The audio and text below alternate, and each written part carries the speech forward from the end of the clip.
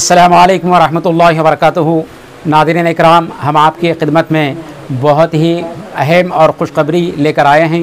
अल्हम्दुलिल्लाह ताला, माह रमज़ान मुबारक की रहमतें, बरकतें, सदतों के साथ ही साथ शहरियान शाहपुर की जानब से अल्हम्दुलिल्लाह, हर साल की तरह से शबी शबीने का अहतमाम किया जा रहा था।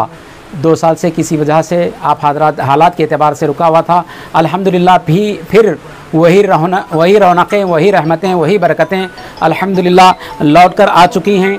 अल्हम्दुलिल्लाह, आज बतारीख़ इक्कीस रमज़ान मुबारक, बाईस और तेईस रमज़ान मुबारक में, पर इन तबारक व ताली बामकाम मस्जिद मोहम्मदिया कवासपुरा शाहपुर में बाद नमाज़ इशा, यानि साढ़े दस बजे से इन ताला से शबी शबीने का अहतमाम किया जा रहा है। यानि जुमा, हफ़्ता और इतवार, इन तीन दिनों में इन ताला कुरान करीम को मुकम्मल तिलावत करने की सदत हासिल करने के लिए, तरावी में सुनाने के लिए हज़रत अल्लामा मौलाना हाफिज़ वक़ारी मोहम्मद असलम शरीफ साहब कादरी कामिलफ़ जाम निदामिया से तशरीफ़ ला रहे हैं। इन शाह ताला साढ़े दस बजे जमात सानी होगी साढ़े दस बजे जमात खड़ी हो जाएगी और दस से बारह पारे इन ताला, आज, फिर कल दस से बारह पारे और इन ताला बाकी के पारे इतवार के दिन सुनाए जाएँगे। इन ताला और तरावी के बाद, तरावी इन तबारक व ताली करीब करीब तीन बजे के करीब करीब तरावे होंगे और उसी के साथ में माशा बेहतरीन शहरी का इंतज़ाम जो हजरात नमाज़ तरावी के लिए हाजिर हैं, उनके लिए बेहतरीन शहरी का इंतज़ाम किया गया है और खाने का इंतज़ाम किया गया है। इसी तरीके से ये मुसलसिल तीन दिन तक ये सिलसिला जारी रहेगा।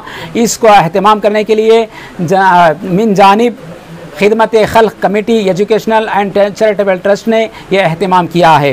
लिहाजा आप हजरात से गुजारिश की जाती है कि यह रहमतों वाले महीने में और ये अदमतों रातों में ताख रातें भी मनाई जाएँगी। यानि साथ ही साथ कलाम पाक की तिलावत भी की जा रही है और खसूस दुआएँ की जाएँगी और ताख रातें भी मनाई जाएँगी। और इन आखिरी दिन खसूसी तौर पर आखिर की दुआ होगी। इसी के साथ में इन अख्ताम पदीर होगा। लिहाजा तमाम मुसलमानों से गुजारिश की जाती है कि इस सुनहरी मौके को, इस अजमत वाले मौके को अपने हाथ से जाना ना दें। अल्लाह ने हमें ये एक बेहतरीन आफ़र अता फरमाया है। बेहतरीन एक मौका दिया है कि हम इस मौके से फ़ायदा उठाएँ और दीन दुनिया में आखिरतों में कामयाबी होना चाहता पाएँ। असल वरहमल